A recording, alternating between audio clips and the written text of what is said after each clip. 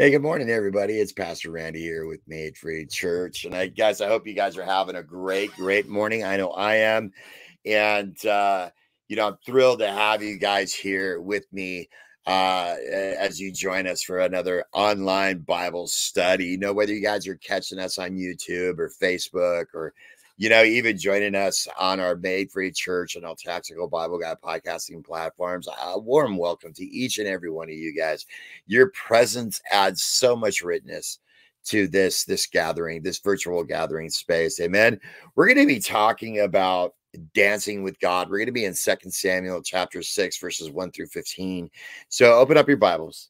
Uh, grab your grab your favorite cup of of of, of coffee and let's dive in. But let's open up.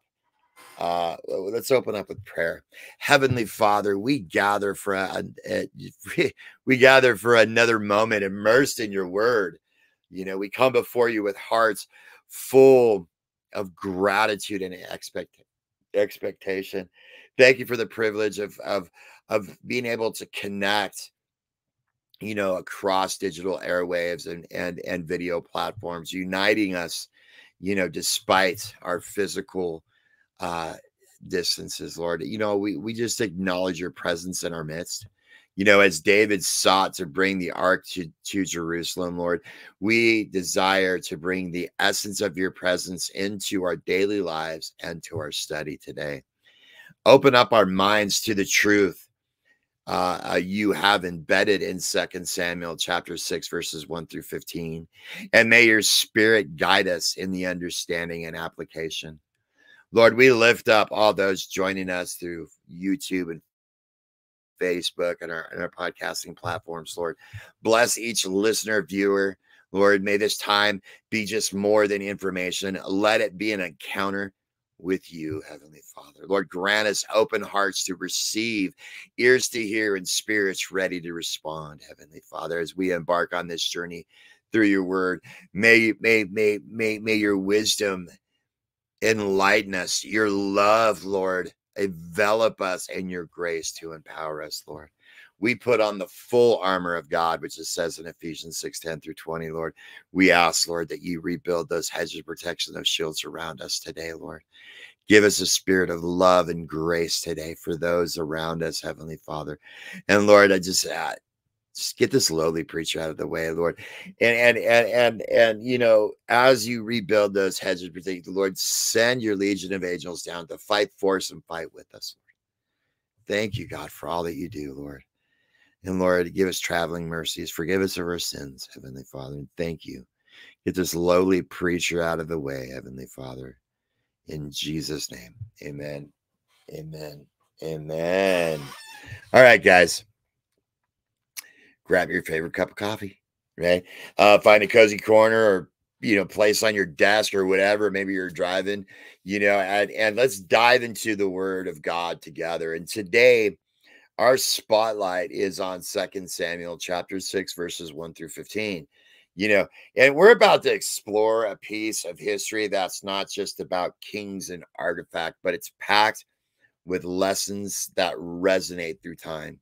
You know now picture this right? You know david you know the, the shepherd king the shepherd who, who became king is on a mission right? That that that's way more than than just moving you know some ancient chest right? He he's he's got his insight he's got his sights on on bringing the ark of the covenant to the heartbeat of israel jerusalem right? And and the and the ark is symbolic for uh, of god's presence and glory right? But but it was no small thing. You know it was a tangible reminder of god in their midst you know? But but but what but why the fuss you ask right why why why did David embark on this grand relocation project, right? Well, that's you know, the, the, this is why we're gonna we're gonna unpack this together, right? Eh, this passage offers us a backstage pass to the excitement, the hurdles, and and the heart of David's endeavor, right? And, and trust me, right? It, it, it's there, there's gold waiting for us in these verses for us to glean on to, to to capture right so let's talk let's talk about context for a, a moment right jerusalem wasn't just a, a, a dot on a map for David, right? It was it, it, was destined to be the epicenter of worship, right? That the chosen residence for the ark, right? And David, in his deep love for God, saw the significance have of having this symbol uh, of God's presence right in the heart of their nation. So, as we navigate through uh, of Second Samuel chapter six, verses one through sixteen, let's keep in mind the fervor that David had for God's presence. Right, you know, picture dusty roads, cheering crowds, and contagious joy. You know, it's not just a historical account; it's an invitation for us to reflect on our own hunger for God's presence. Right. Oh, I love coffee anyway, as we unpack these verses, guys, you know, we'll wander through the highs and lows of David's journey, right? And and and and, and feel and feel the ancient joy of worship grappled with the challenges that he faced. And there's there's something about the way that David approached God, right? It was genuine, it was unfiltered, it was an unfiltered connection that speaks volumes to us today, right? So, guys, buckle up for for a scriptural adventure right you know a journey that that might just store store something deep within us right? And together let's open our hearts to the lessons waiting for us in second samuel chapter 6 verses 1 through 15 right? And, and it, it, this isn't just another study right? It's a chance for us to connect reflect and maybe stumble on some timeless truth that echo through this age, right? So, guys, I want to I welcome you guys to another, you know, uh, uh, morning in the Word, and let's make this study of uh, a time of recovery and growth. Okay, so let's dive in, and uh, let's let's read today's passages. We're going to be in in Second Samuel chapter six, verses one through fifteen. It says this. It says. It says then uh, David again gathered all the chosen men of Israel, 30,000. And David rose and went to all the people who were in, uh, who were with him in Baal Judah, Ju- Judah, right? To bring up from there the ark of God, which is called by the name of the Lord of hosts, who sits on the throne, and the uh, sits uh, enthroned on the cherubim. And they carried the ark of God on a new cart and brought it to the house of Abinadab, right, which was on the hill. And Uzzah and Ahio, the sons of Abinadab, were driving the new cart with the ark of God. And uh, and Ahio, uh, Ahio uh, went back before the ark. And David and all the house of Israel were celebrating before the Lord with songs and lyres, harps, trampolines, uh, uh, consonants and cymbals.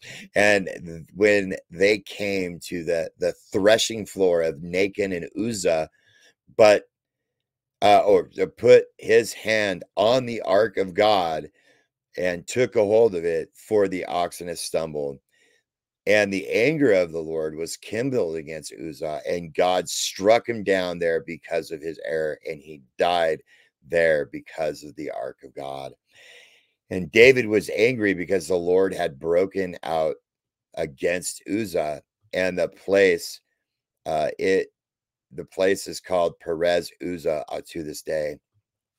And David uh, was afraid of the Lord uh, that day and said, How can the ark of the Lord come to me? So David was not willing to take the ark of the Lord into the city of David, but David took it aside to the house of Obed Edom, the the Git the Gittite. And the ark of the Lord remained in the house of Obed Edom the Gittite for three months, and the Lord blessed Obed and all of his household. And it was told, uh, it was told King David, the Lord has blessed the house of Obed Edom and all that belongs to him because the because of the ark of God. So David went and brought the ark of God from the house of Obededom to the city of David with rejoicing. And those who bore the ark of the Lord uh, had gone six steps, and he sanctified the ox and fattened the animal. And David danced before the Lord with all of his might, and David was wearing a, a linen ephod. So David and all the house of Israel brought the ark of the Lord with shouting and with sound of a horn. All right, guys. Because we're about to dig into the, you know, uh, we're about to dig into the juicy stuff here, right? Right. David's epic relocation of the ark to Jerusalem. Now, you guys got to picture this, right? Now, David has his eyes on something big, something monumental. It, it, it's it's not like the, the, the the latest royal accessory here. It's the Ark of the Covenant, the holy jackpot of God's presence, right? Well, why on earth would David go through all the trouble just to move what is essentially a fancy box, right? That's that's what a lot of people think. Well, it, it's not just a box. It, it the ark symbolizes God's very presence among his people.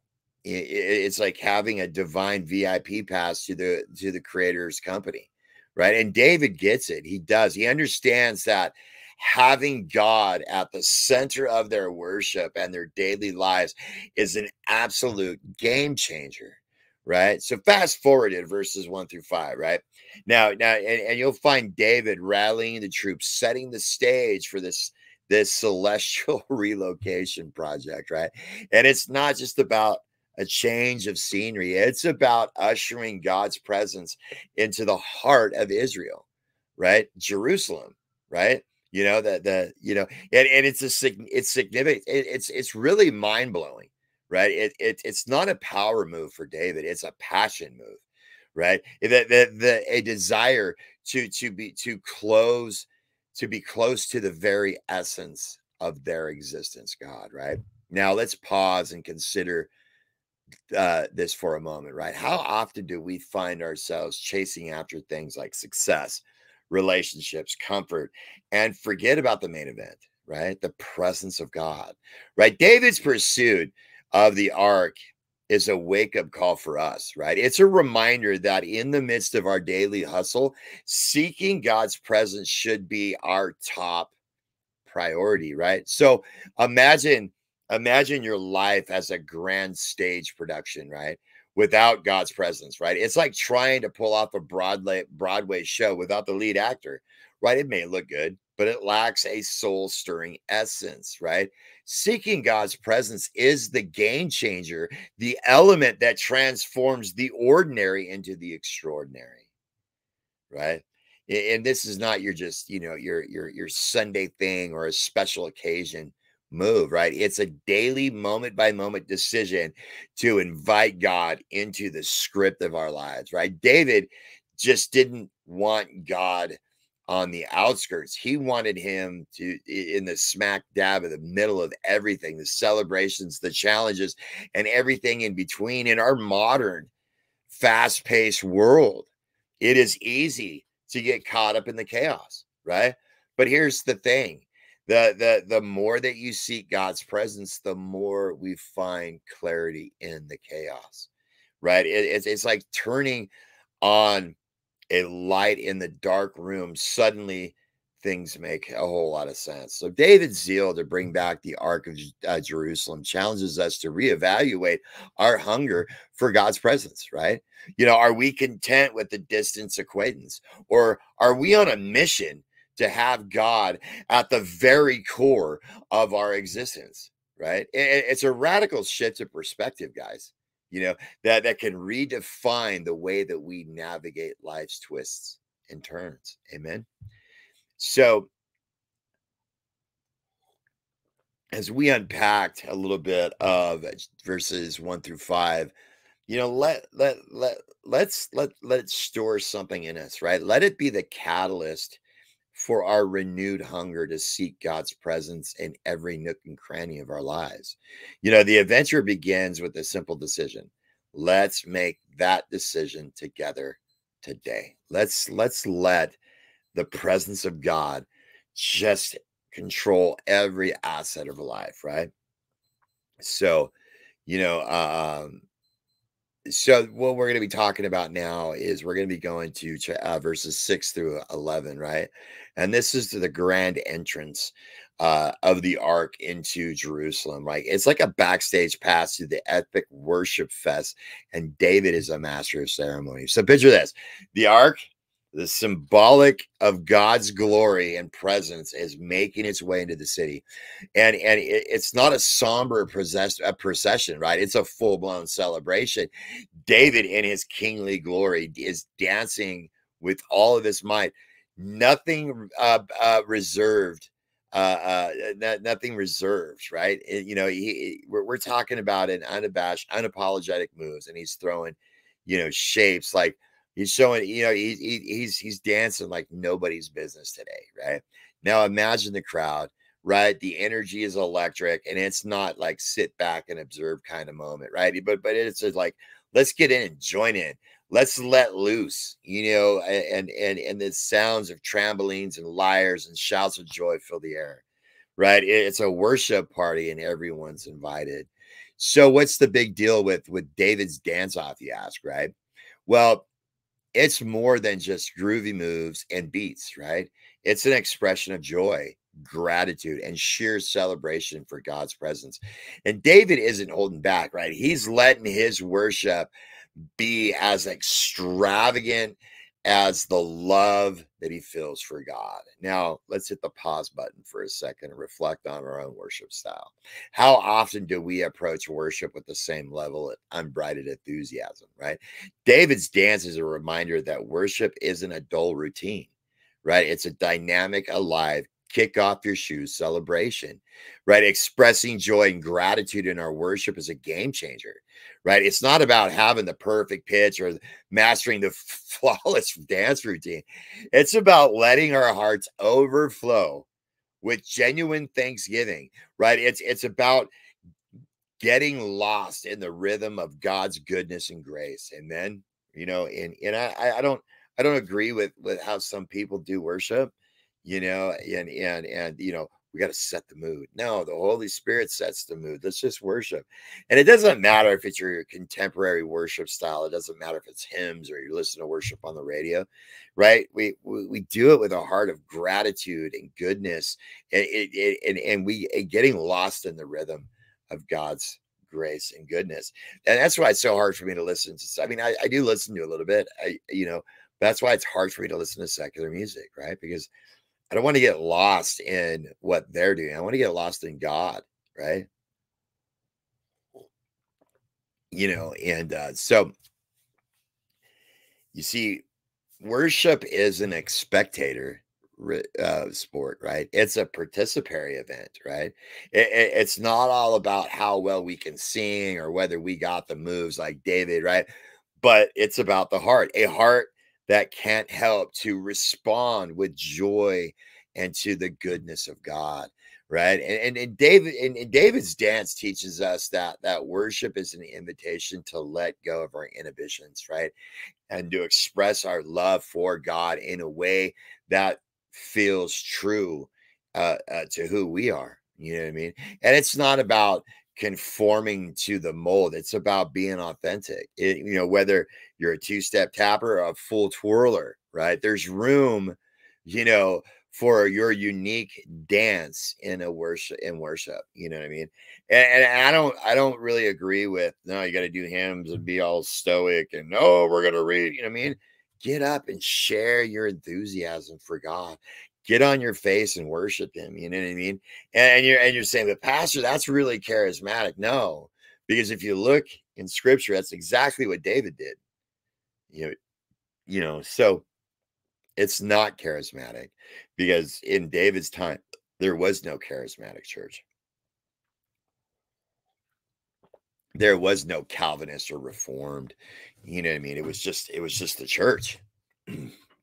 so just to let you guys know, you know.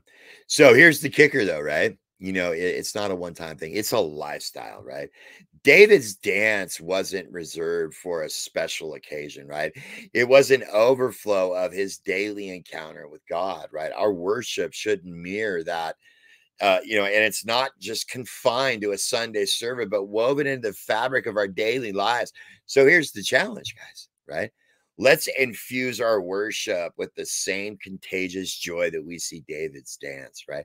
Let's make our worship vibrant, expressive celebration uh, of the God who deserves all the praise, right? Whether you're swaying in your street or, or doing a, a, a David twirl, right? Let, let it be an overflow of gratitude and joy, right? Worship you know, uh, uh, uh you know, let, us join worship, right, with with all of our hearts. So let's dive into the nitty gritty of dealing with setbacks, right? You know, imagine David, right? Uh, uh, you know, David's on his high of worship, right? And vibes, you know, bringing the Ark of the Covenant into Jerusalem, the music, the dancing, and a whole lot of celebration. And in the and, and, it's like a grand tapestry, uh, a, a grand, the grandest party that you've ever seen, right? But there's always a a a Michelle and David's, you know, the, the, Michelle, David's wife, is not feeling the rhythm, right? And as you see in verses uh, 12 and 13, right? Uh, uh, David's busting moves of joy. Mich- Michelle's watching from a window, probably her eyes raised, you know, right, skeptical expression, right? She's not impressed. In fact, she straight up criticizes David for what she perceives as undignified behavior. It's like saying, Hey, King, you shouldn't be acting uh, uh, you should be acting like a uh, all regal instead of dancing like there's no tomorrow. But but but before you jump in uh, uh, on the on the Michelle bashing train, let's take a pause. You know, haven't we at some point found ourselves in Michelle's shoes? Right? You know, looking at someone else's expression of worship and thinking, hmm, is that how we're really supposed to do it? Right? It's a common it's it's a common human thing questioning the authenticity of someone's worship especially when it doesn't fit your idea of proper right? You know and, and here's the kicker man you know uh, uh, uh david doesn't let michelle rain on his worship parade right? Instead of defending himself he makes it clear that he's dancing before the audience of one god right? It, it's like it's like saying michelle you may not get it, but God does, and that's all that matters, right? And and it, it's a huge lesson for us that our worship is not a performance for others; it's a heart to heart connection with God. You shouldn't be raising your hands up or doing that and looking around and see what everybody else is doing. You do what you need to do, despite what everybody else thinks. Period. So now, now let's zoom out a bit now let's talk about setbacks in our spiritual journey. You know, just like you know Michelle's uh, Michelle's you know disapproval threw a curveball into David's celebration. Life has a way of throwing unexpected challenges our way. Right? It, it, it could be doubts, it could be struggles, you know, or even criticism from those around us. Right? But but how do we deal with these setbacks? You know, first off, it's okay to acknowledge acknowledge that setbacks happen, right? David just didn't brush off Michelle's criticism, right? He addressed it. Similarly, we need to confront the challenges in, our own spiritual journey instead of pretending they don't exist. It's in acknowledging and addressing these setbacks that we find room for growth. And and remember that setbacks don't define our journey. David didn't let Michelle's disapproval steal his joy, right? Instead, he kept on dancing, he kept on celebrating in our spiritual journey, guys. Setbacks might be a part of the story, but they don't have to, to, to be the end of the story, right? Keep moving forward, keep dancing, keep worshiping. And finally, find your rhythm in the midst of, of the setbacks, right? David danced wasn't about impressing Michelle or conforming to the societal expression. It was about expressing his gratitude and joy for God's presence. And and and and you know, in, in the face of our own setbacks, right? We find eh, find your authentic way of connecting with God, right? It, it could be through prayer, music, or reflection, whatever helps you stay connected and grounded. So we've navigated these setbacks on our spiritual journey. So let's take a page from David's books, right? Address those challenges, right? Dancing through the setbacks, and above all, finding your rhythm of, of, of worship that that that's genuine and pleasing to the one who truly matters. The journey continues, right? And the set and and set setbacks and all, but keep on moving forward. Now let's talk about a heart after God's own heart. And trust me, right? This is the good stuff. This is verses 14 and 15, right? And, and this is after all the dance move, the joy, joyful worship, and and and and Michelle's critique, right? And and there's a beautiful moment that deserves attention, right? David, in all of his exuberance, just doesn't just catch a breath, he catches God's attention. Picture this sweaty and probably a little out of breath, right? From all the dancing is bringing the ark into Jerusalem, right? And how does God respond, right? You know, it's it's it's like it's like a divine DJ that drops a beat, right? Then the, there's music, there's celebration, and most importantly, there's God's presence filling the place, right? It's a party, and God is not just a wallflower. He's right in the midst of all the celebration. Well, what does this tell us, right? It, it, tells us that God is not indifferent to our worship. You know, he's not sitting there with a checklist, you know, coldly addressing our performance. No, he's a father who delights in genuine expression of his children. Right. When David danced in, it, with all of his might, God just didn't just notice. He joined the dance, right? He was he participated in the celebration. So what's the takeaway for us, right? It's an invitation for us to cultivate a heart that seeks after God fervently. Right? David wasn't concerned about how he looked or what the people thought. He was all in for God, and God responded in kind, right? It, it wasn't about having, you know, a perfect words or the most impressive gestures, right? It's about the authenticity of God of, of, of our hearts, guys. Right. In a world that create that, that that curated images and carefully crafted personas, right? You know, there, there's something profoundly freeing about the idea that God's desires are authenticity, right? He's not interested in the polished version of ourselves. He wants that we pres he, he, he you know he you know he that, that that we present ourselves to the world that he wants us real the messy imperfect dancing like nobody's watching us kind of people. Cultivating a heart after god involves shredding the layers of pretenses and allowing ourselves to be vulnerable before him. You know it's it's it's it's like saying god i'm here flaws and all and i'm not here to impress. I'm here because i love you and i want to be in your presence right you know, it's not all about grand gestures, man. It, and it's it's it's about the daily, ordinary moments where we choose to seek God. It, it, it's in the quiet prayers and and honest conversations and intentional moments of worship. God's heart is drawn when uh, ours to ours when we approach Him with sincerity as when when we come as as we are. He's going to change us he's going to transform our lives.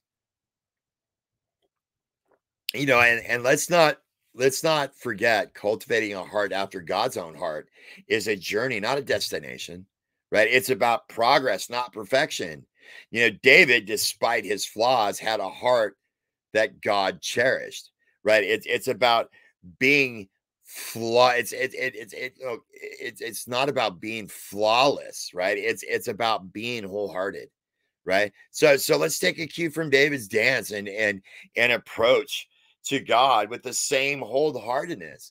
Let's embrace the freedom to be real with God, to dance, to sing, to express our love for Him without reservation. In the grand tapestry of our lives, guys, let us make sure that the thread of seeking God fervently is woven in creating a masterpiece that reflects the heart of God's own heart right? The dance continues and the invitation is open. Are you ready to dance with all your might?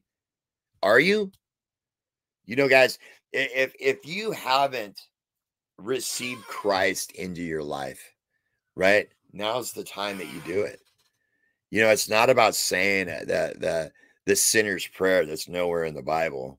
That's just words not going to, you know, really get you saved. Oh, it's said the sinner's prayer, so I'm saved, so I'm going to heaven. That's not how it works.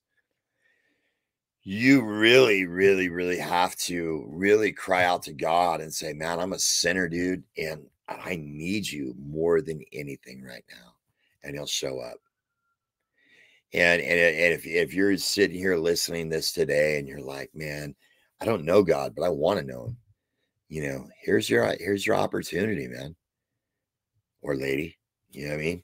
Here's your opportunity, you know, you know, to, to come, you know, into the very presence of God, come into a relationship with him that's going to radically change your life. Right? That's cool stuff, dude.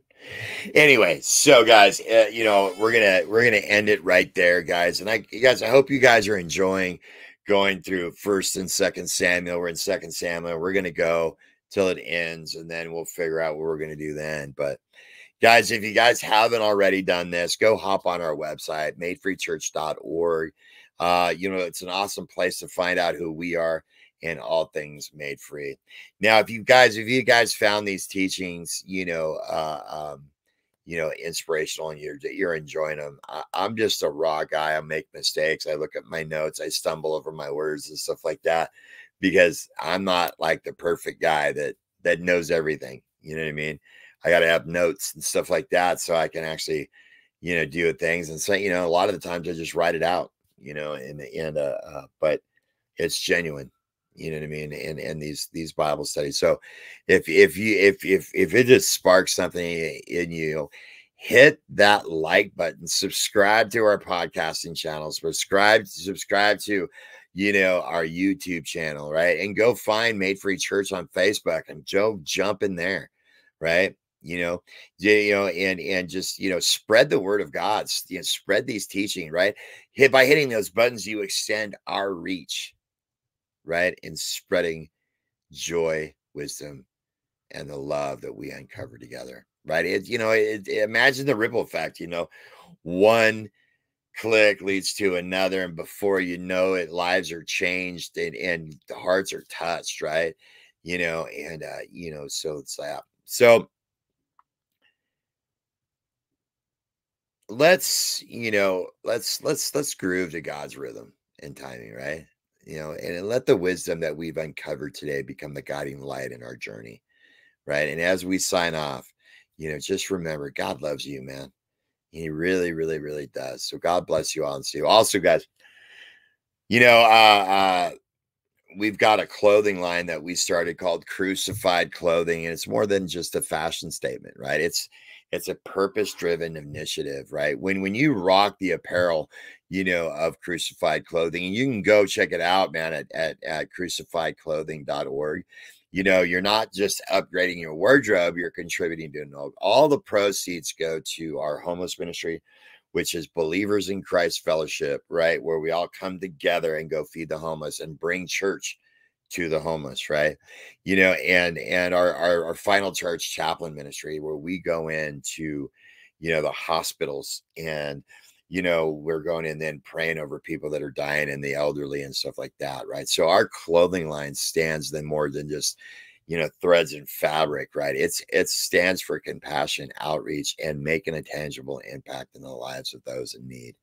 So when you guys are checking out crucified clothing.org you're stepping into a realm where fashion meets you know uh ministry you know and uh so grab a piece of of of, of our t-shirts you know we just we're putting up oh and if you guys want to buy stuff you can go to, to tactical bible guys tiktok account and you'll find crucified clothing on his account right? And and and uh you know it's it's cool because you know we got we're starting to do car stuff we've got a bunch of t-shirts up flannels hoodies uh, uh, sweaters, stuff like that, man, and and all have a statement, right? So, you know, go out and get those, man, and and and support our ministries. Let's close in prayer, guys. Heavenly Father, we bring this time of reflection and study to a close. Our hearts are filled with gratitude for the wisdom that we found here in Second Samuel 6, verses 1 through 15. Thank you for revealing the beauty of seeking your presence, finding joy in worship, and overcoming setbacks and having a heart after your own heart. Lord, may these lessons not just be words on a page, but truths that shape our daily lives and empower us to seek your presence with passion that mirrors David's to worship with unbridled joy and to face setbacks with resilience and to cultivate a heart that resonates with yours. Lord, bless our day, right? And as we go about our day, may your grace be our guide. And may these lessons learned today be etched into our hearts. Help us be living testimony of your love and mercy. And Lord, give us traveling mercies, whatever, whatever we do, Lord. Thank you, Lord. Thank you, Jesus, for you are so worthy. In Jesus' name we pray. Amen. Amen. Amen. So, guys, go check out uh, Crucified Clothing. Go grab yourself a piece of cool threads. Uh, we got some other stuff up there as well um, that you guys can check out. It's actually pretty cool. So, go check that out. God bless you guys, and we will see you on Friday.